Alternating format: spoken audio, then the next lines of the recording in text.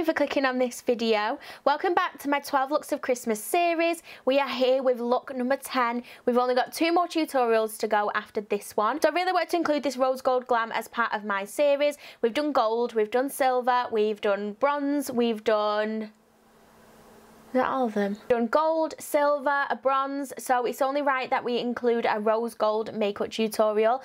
I love how this has turned out. I feel like it looks so glowy. I mean, look at that highlight. Shining. so if you want to see how I created this makeup look, then please keep on watching.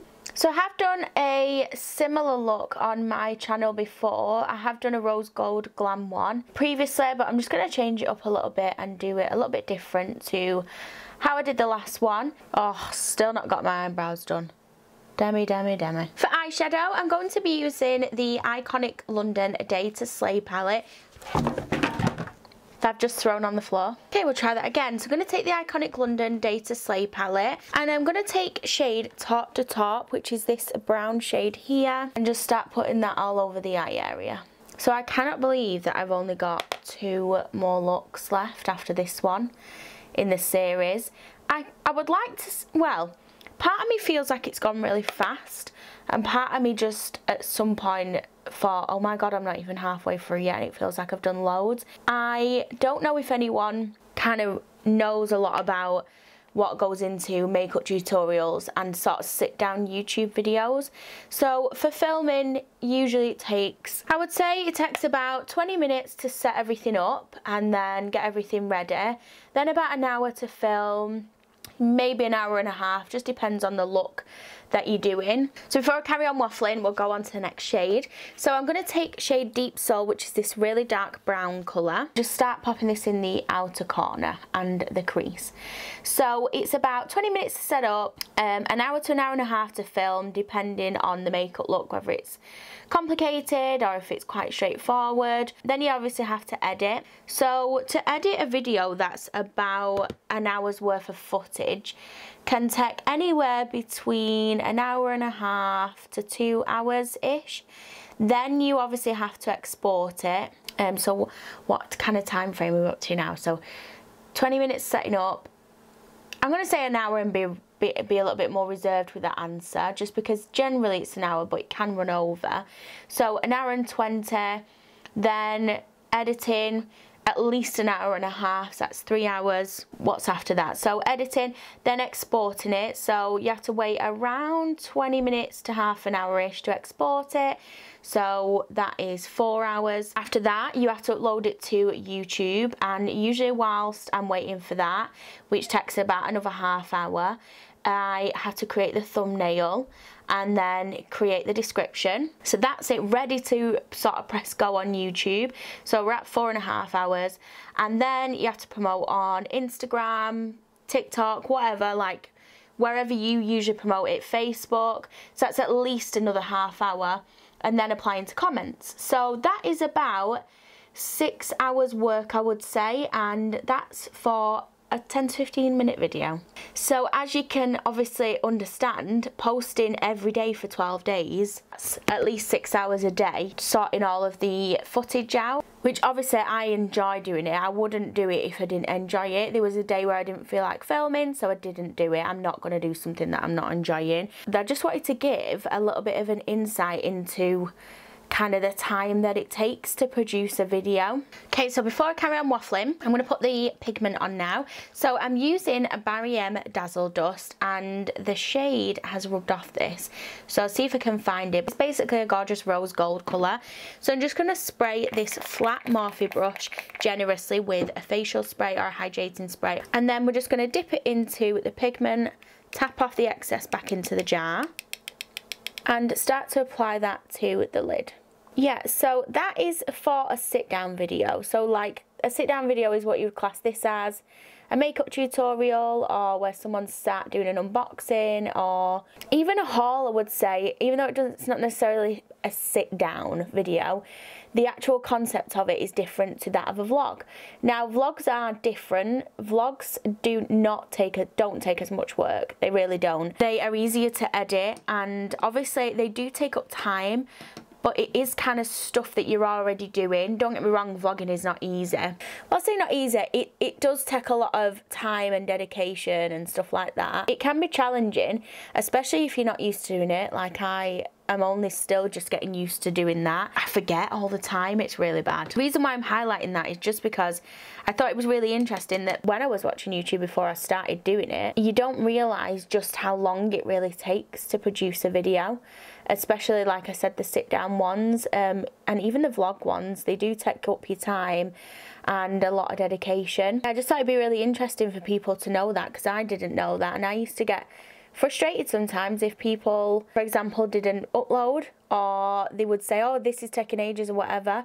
I used to think, oh, you're just making up an excuse, but actually, they're not. It does take a lot of work. I'm just going to go over that pigment, the VIP Vibes um, from the Iconic Day to Slay palette just to give it that little bit more of a pinky tone. And now to just make sure that's blended, we're going to go back in with Deep Soul to blend the two together. Now for lashes, I'm going to use some budget lashes today. So these are, I think you say Jamais. I got these off Amazon a while ago. I don't think they have a a style on them. They look really odd in the packaging, the actual style of them, but they look really nice and wispy and natural when they're on. I'm going to pop the Duo Lash Glue. See, they just add a nice little bit of effect to the lashes, but they're super wispy. I love these. If you really like, don't want to wear proper full lashes, but you want a little bit of extra volume, these are your thing. For foundation, I'm going to take the Maybelline Superstay, and this is in shade 36 Warm Sun and then just apply with a brush. For concealer I'm going to use the Maybelline Age Erase and I'm just going to put that onto my under eye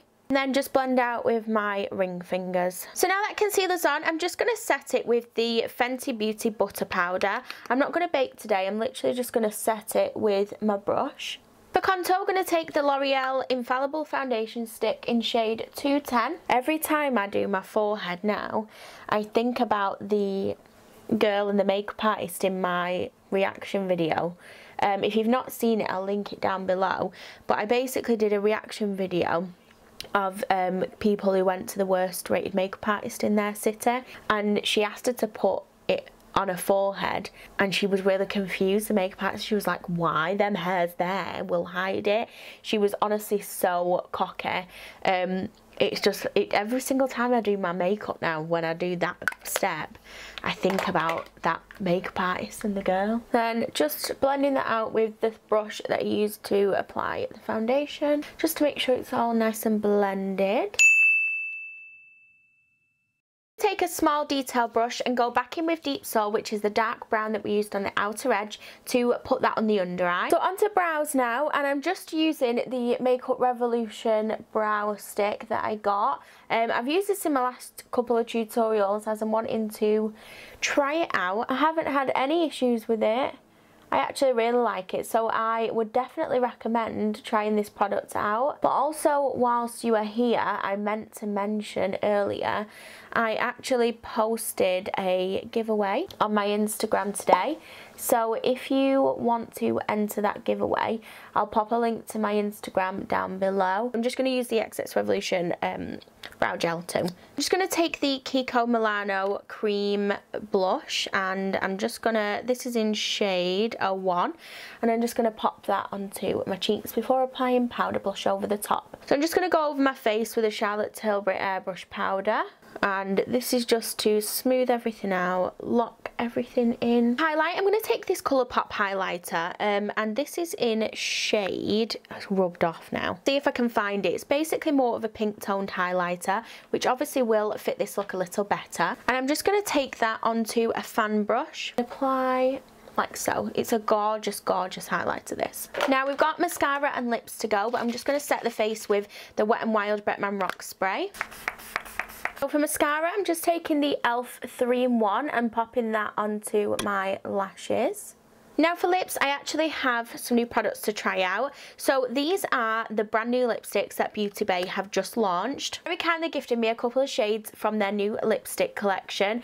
These are stunning. You know how much I love Beauty Bay products. I rave about them all the time on my channel and these are no exception. I look at how incredible they are. The quality is great and they're so inexpensive. I haven't tried the formula yet, so we're going to try that together for the first time and I'm just going to give you my honest opinion. They sent me two shades from their new range and these are Freckle and Tea. Freckle has a slightly more brown tone to it, whereas this is a little bit more pinky toned. I'm going to go with the brown one today just because I feel like it'll suit this look just down to a T.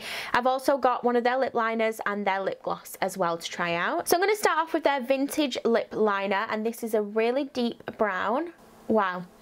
I haven't actually tried any Beauty Bay lip liners before and these these are incredible. I am really impressed with this. It feels really creamy. I love this. This is giving me major Morphe lip liner vibes. Like it feels exactly the same. Like it feels really creamy. I would even say it's probably slightly more pigmented. And you know how much I love the Morphe lip liners. We're going to go over the top of that with the lipstick Freckle. Wow. So this is a matte lipstick, which usually would be very drying but it feels creamy it's not dried out my lips and that shade goes beautifully with that lip line. If these last as well this will be a winner for me. Obviously lipstick going on and being a pretty colour and feeling great is one thing but the lasting power is another. So we're going to test that out and I'll see how I get on with it. So I'm going to top that off with the Beauty Bay Ballet Lip Gloss. Oh yeah. Oh my god what a combo Oh my god, I love that combo. If you really like like a brown toned lip, this is the combo for you. That gloss, I was going to say tastes amazing, but I mean smells amazing. But it's kind of in my mouth, do you know what I mean? You get what I mean, you get it. And here we have the finished look. I love this makeup look. This pigment has been a favourite of mine for literally years. I've had this pigment for years. Pigments are so underrated. If you want a really beautiful look when you're using shimmer, get a pigment. The Peaches makeup pigments are incredible. This Barry M Dazzle Dust is incredible.